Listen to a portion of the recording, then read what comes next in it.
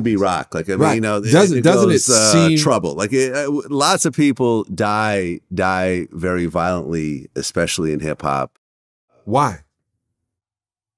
Why?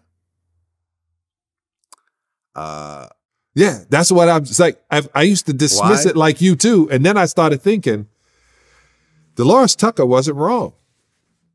see Delores Tucker, who who bashed rap music.